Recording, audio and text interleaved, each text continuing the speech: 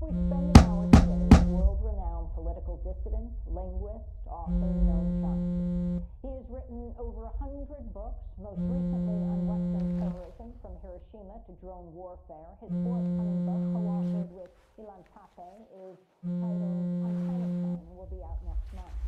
Noam Chomsky is